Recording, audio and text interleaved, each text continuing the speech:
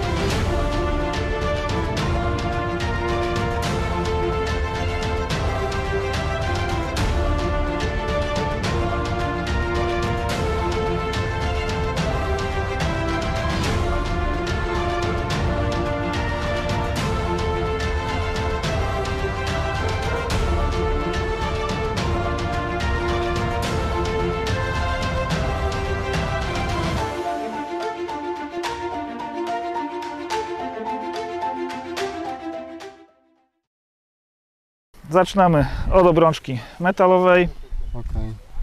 na lewe wiosełko. To ja sobie przejdę z tej strony. Muszą, obrączka jest stalowa i musimy bardzo mocno zacisnąć, bo gęsi swoim dziobem potrafią wypiąć zamek z, tego, z tej obrączki. Także mamy już kilkanaście przypadków, gdzie, gdzie te gęsi wypięły sobie obroże. Niedługo będzie nowy typ obrączki na gęsi, taki na nity, gdzie nie będzie technicznej możliwości. Dobra, obrączkę mamy. E, WN spisujemy sobie. To jest obrączka WN 10802. 10802. Obroża będzie X102. To będzie pól.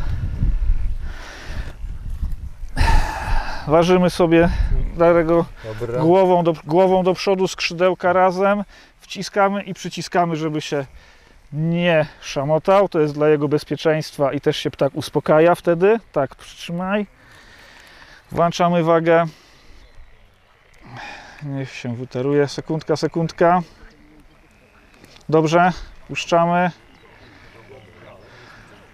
To jest największy z tych piskląt 2380. Dobrze, to teraz ręce do środka. Tak. do, dorosła, dorosła gęś do jakiej masy? Naj, największ, największego gąsiora, jakiego obrączkowałem w czasie, w czasie pierzenia, znaczy lęgowy miał 4 kg 600, a najmniejsza samica, która była obrączkowana jako lęgowa miała 2,530. A gęgawa jest największym gatunkiem. Gęgawa jest największą, największą gęsią. A jak długo żyją? Bo to krążą legendy czasami o ich długowieczności. Najdłuższa gęgawa obrączkowana e, w naturze e, bodajże 25 lub 26 lat żyła. Także to już też jest całkiem słuszny wiek. Najdłuższą gęsią, e, która żyła też na wolności, była to gęś krótkodzioba, bodajże 42 lata miała. 42 lat. Tak jest. To teraz zakładamy obroże. A jak to jest z tym takim uczłowieczaniem troszeczkę gęsi, jak nieraz spotykamy? Chociażby jest takie no, powtarzane bardzo często informacja, że gęsi są monogamiczne i po utracie partnera one już nigdy nie połączą się w parę. Co No. mówi na ten temat nauka? Nauka na ten temat mówi, że byłoby to sprzeczne z ideologią przyrody, bo wyobraźmy sobie, że mamy osobnika młodego w sile wieku zdolnego do reprodukcji, który nie przystępuje do lęgów, czyli no nie, ma, nie ma takiej możliwości. Ptak po stracie partnera szuka nowego, nawet, ba, nawet u gęsi mam kilka już przypadków, gdzie nawet pary po sukcesie lęgowym rozbijały się i szukały sobie nowych partnerów, a rekordzistka obrączkowana samica w ciągu jednego roku była widywana z trzema partnerami. Także I partnerzy byli przy życiu. Partnerzy byli przy życiu, tak. Czyli to takie mity też. To są, to są mity robione troszeczkę dla rozgłosu, czasami świadomie, czasami nieświadomie. Ale z prawdą nie mają wiele wspólnego. Przynajmniej badania naukowe tego nie potwierdziły. Zgadza się. A wręcz Zgadza się. wnioski.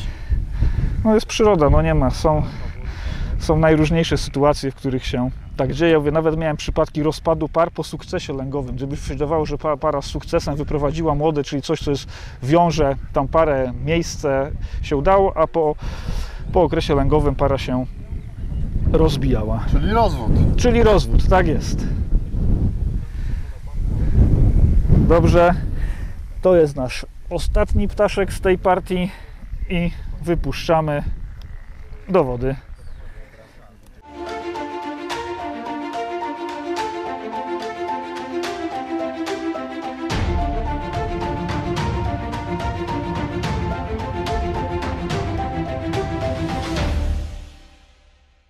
Wyszedłem ze stawu, próbowaliśmy złapać gęsi, no niestety w tej chwili się nie udało w tym pędzeniu puste, ale mam znalezisko.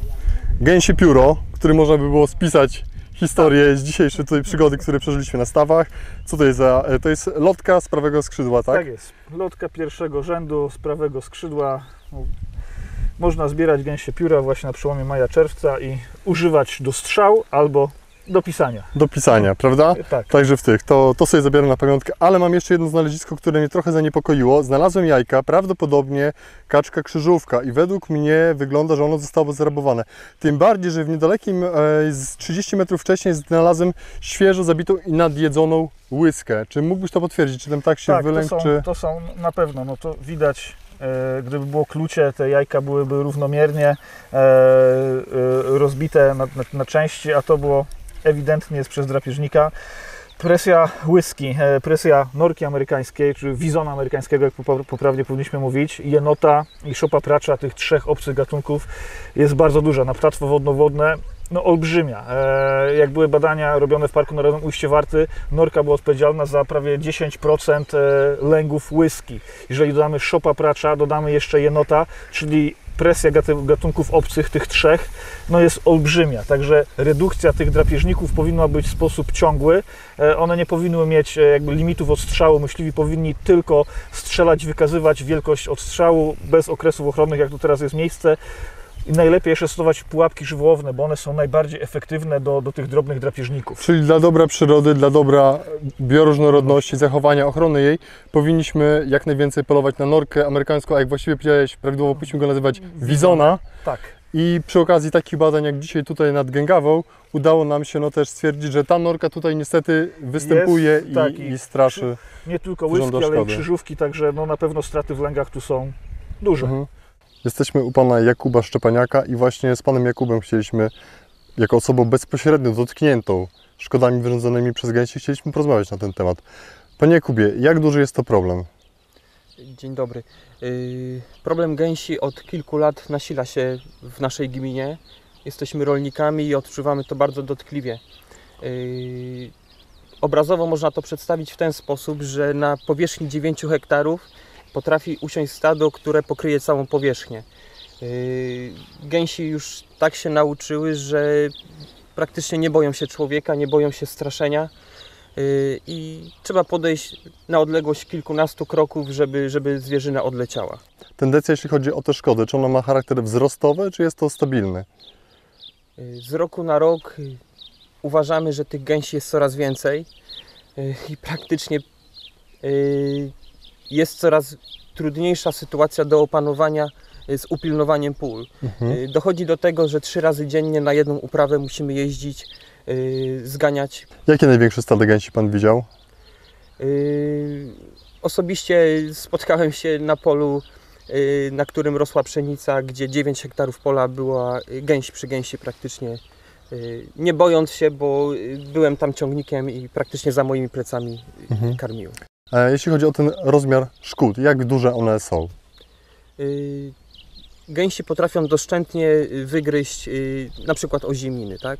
Yy, Miałem przypadek, że na 9 hektarach gęsi potrafiły zjeść całą uprawę. Czyli praktycznie zniszczyły zasiew do zera.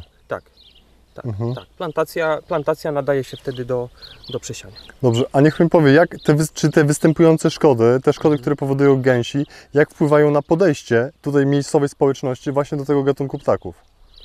Y, Społeczność jest y, już y, zmęczona i oburzona tą, tą sytuacją, bo jesteśmy rolnikami, chcemy żyć w zgodzie z naturą, ale jest pewna ilość, gdzie są granice, do których y, jesteśmy przyzwyczajeni, ale jeżeli to się nasila, zwiększa się ta ilość, y, też mówimy w pewnym momencie stop. Jako przedstawiciel rolnictwa y, oczekiwałbym, żeby były rozwiązania systemowe, tak? bo dla nas to jest duży problem, nie atrakcja i chcielibyśmy, żeby nas zrozumiano nie tylko jako tych, którzy, którzy czerpią korzyści, ale jako tych, którzy też karmią innych, tak? bo to jest jedziemy na tym samym wózku, więc y, zawsze musimy się wspierać i chciałbym, żeby, żeby to uregulować.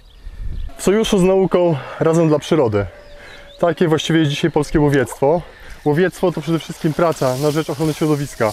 Zapraszamy wszystkich chętnych w nasze szeregi. Przekonacie się, czym to naprawdę jest. Dziękuję Bartku bardzo za to, że mogliśmy wziąć udział w Twoich badaniach. Polecamy się na przyszłość, na pewno bardzo chętnie Ci pomożemy. Gdzie trzeba, pojedziemy.